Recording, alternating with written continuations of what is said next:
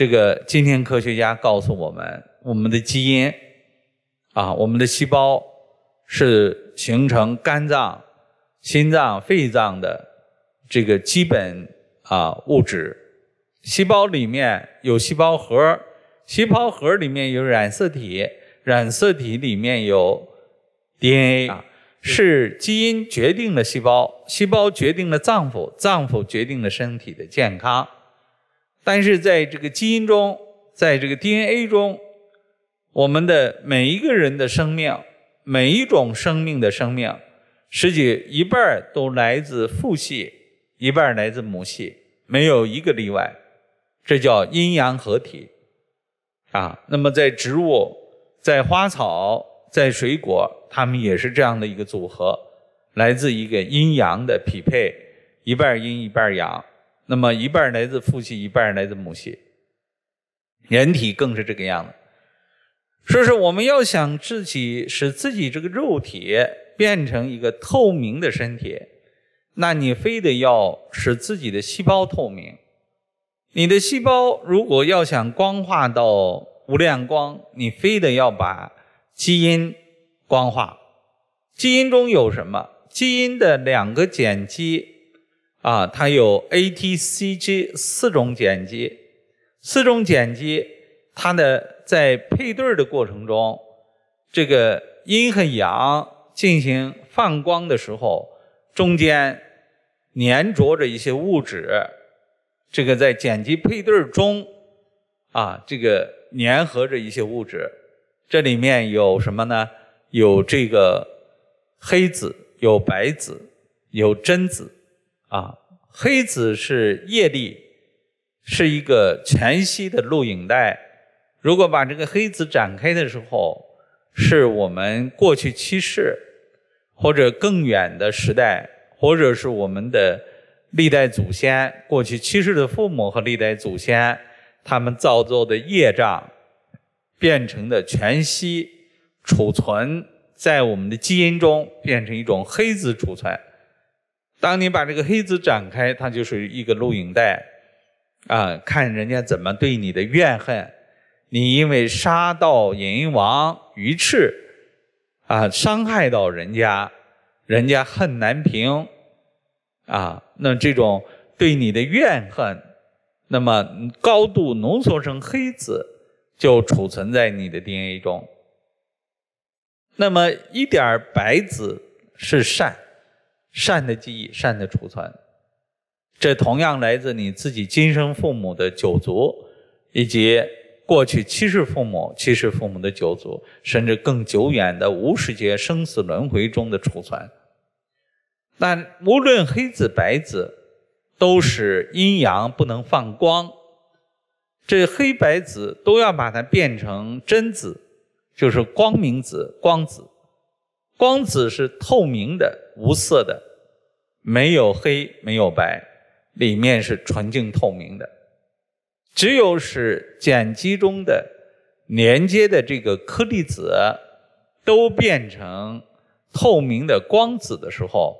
那你的整个基因链条就完全变成了无量光的光子基因，由此基因生出的细胞是无量光的，由细胞生成的器官是无量光的，由细胞组合的骨头组合的体内的所有的组织器官，包括你的头发，都是基因组合出来的细胞组合的。那它就都变成无量光了。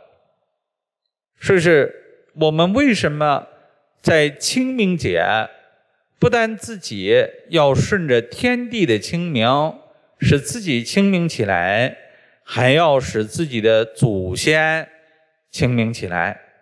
所以我们要给祖先一把火，给祖先一点光，给祖先传输能量给他们。使他们能够站得起来，有充足的精力、气力、神力，使自己也达到清浅明起来，也做一个觉醒的众生。那这就是清明节的意义：天地清明了，人清明了，万物清明了。哎，列祖列宗过去七世父母和你有缘的所有的依附在你的 DNA 中的众生，内外皆光明，内外皆清明。这是清明节的重大意义所在。今天只是以为上个坟、扫个墓就完事儿了，不是这样简单的一件事情。它关乎到我们的生命，此生能否经究竟的变成无量光，能否实现此生生命的终极目的？啊，这是一个十分重要的一个节气啊，所以是它不仅叫鬼节，你可以成为一个神明节。